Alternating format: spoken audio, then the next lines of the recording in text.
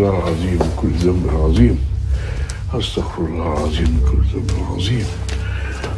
أستغفر الله العظيم كل ذنب آه. آه. إيه ده؟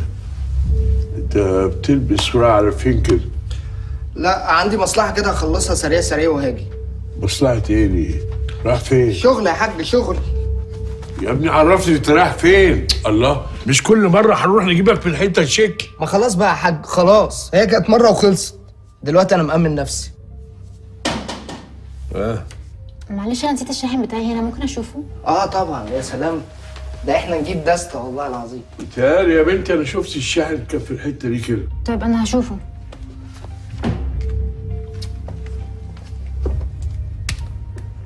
شكرا. العفو. آه، وأنا؟ ينفع كده؟ يرضيك وكده. لا. انت بتعملي إيه عندك هنا؟ في إيه؟ موبايلي فصل كنت بجيب الشاحن. خد يا بنت بره منور يا حاج. على قد ما أقدر. طب يا حاج سلام. خلي بالك من نفسك يا ولد انت. حاضر.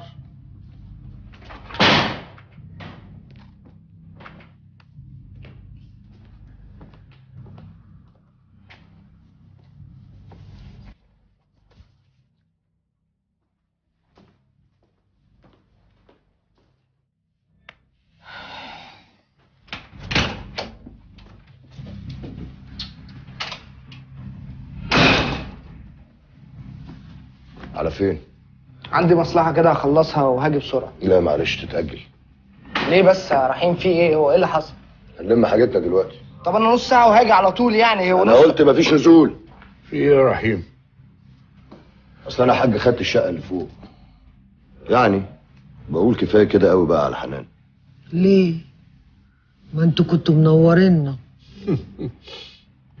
وأنت على طول كده يا حنان بتقولي كل اللي في قلبك. يا دي باين عليها مصلحة جامدة قوي لا لا مصلحة جامدة ولا حاجة. يلا ننزل الحاجة. نطلع الحاجة. الشقة فوق. آه. فوق يابا الله يخليك. حاضر. تعال. حاضر.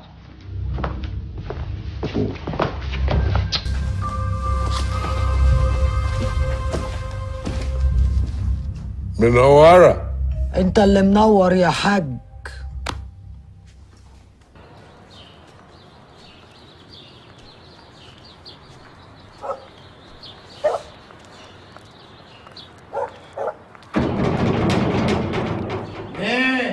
افتح حلقة مصعب. يا هشام كنت فين يا زميلي؟ ليك وحشة والله. لا والله ده على أساس إن أنت ما كنتش عارف إن أنا اتخطفت. ورحمة أمي ما نعرفوا أي حاجة حاجة غير إن المعلم أبو وردة خارب عليك الدنيا بقى له يومين أنت والبضاعة. ومش بعيد يا ناصح يكون حد من رجالته قطرك وأنت داخل على هنا. ما أنا جاي لك عشان موضوع البضاعة ده. ال- البضاعة بخ. نعم يا أبو عمو. ده الحوار ده يطير فيه ارقاب ومش هيخلص إلا بالدم. بقول لك إيه يا هشام اللي ما تعرفش الفديه استمتع بيه. طريقك كله مدافن. يا جدع اسمع يا جدع. أنا عايزك تتصرف لي في حتة كده أديها لابو وردة وبعد كده إحنا مع بعض نتحاسب. حتة إيه يا هشام هي تذكرة ولا تذكرتين؟ دي كمية يا أخويا. يعني قابل وقعب بقى. يعني يرضيك يعني أبو وردة يعلم عليا و... ويطير رقبتي؟ لا ياض ما يرضينيش يو سلامة رقبتك يا زميلي أنا هرسيك. آه. أنا عايزك كني لك يومين كده في أي مكنه قبل ما حد يقطر فيك عشان لو حد قطر فيك لا هنعرف نداري ولا هنلم اتكل على الله. تمام. تمام يا مسعد. تمام. روح يابا ربنا يحنن عليك. ويرزقك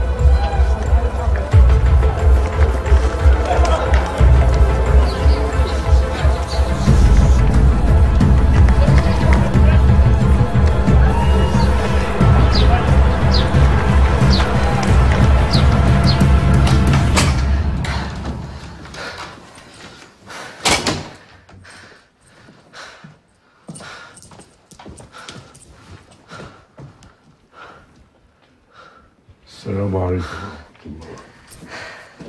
السلام عليكم ورحمة الله. استغفر الله.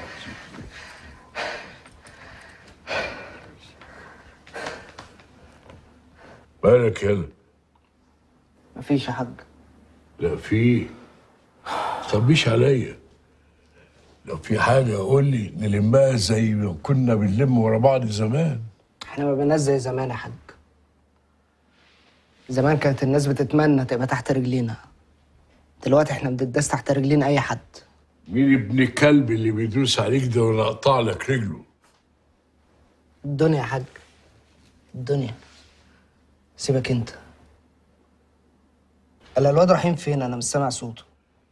مراتك يا سيدي خدته وراحت بيه عند أمها. أنا مش مستريح للبنت دي. الله أنت كنت مبسوط منها وإحنا بنسجل الواد. أنا كنت فرحان بأول حفيد ليا يشيل اسمي؟ أنا مش فاهم انت انت أنت اتجوزت البنت دي ليه؟ اللي حصل بقى يا حاج. لو ابنك كمان إيه خلاها رسمي. بعد ما كان حتة عقد ممكن أقطعه دلوقتي بقت رسمي. يا ده أنا ما بتكلمش في رسمي ولا رسمي أنا بتكلم في الجواز نفسه. الله. أنا مش فاهم رسمي إيه ورسمي إيه. وبعدين ما أنت اتجوزتها وخلفت منها. بقت مراتك غصب عن عين أبوك. أيوه يعني أعمل إيه يا حاج دلوقتي؟ اطلقها ولا أكمل معاها ولا أعمل إيه يعني؟ تلمها. يا يالا تلمها. ما تخليهاش ماشية على حل شعرها. حاضر يا حاج حاضر. تؤمرني بحاجة تاني؟ عاوز من قلقتك إيه؟ غور غور. أنت كنيلة وأنا هبل بقول لك يا هشام ما تيجي ننزل نقعد في القهوة نشرب لنا كوبايتين شاي كده ونضرب لنا حجرين؟ أنا مش رايق خالص النهارده يا حلمي. اعتبرنا في القهوة وأنا هعمل لك اللي انت عايزه. طب بقول لك إيه أنا عايزك في مصلحة. مصلحة إيه؟ خير.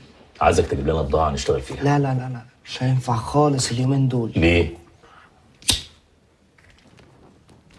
ما ده الحوار اللي مقعدني هنا. اليوم اللي اتخطفت فيه كان معايا بضاعة. معرفش بقى اللي اسمه سعد ده صرفها ولا الحكومة هي اللي حرزتها. المهم ان اصحاب البضاعة دي مش عايزين فلوسها دلوقتي دول عايزين رقبتي أنا عندهم حق. وأنا ناقصك حلمي.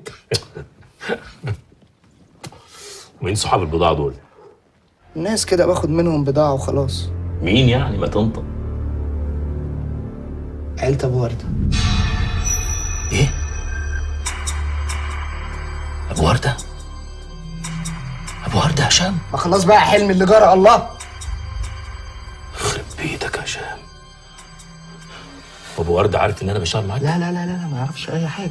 هو كل اللي ليه إن أنا آخد بضاعة أديله مكانها فلوس. غير كده ولا ليه فيه. أبو وردة. يا نهار أسود.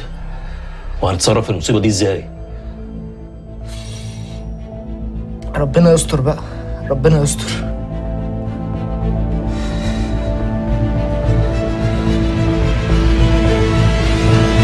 لازم يعرف. رحيم مش لازم يعرف أي حاجة. ده لو عرف ممكن يموتني فيها حلمي. ولما انت عارف كده راح تشتغل معاهم ليه؟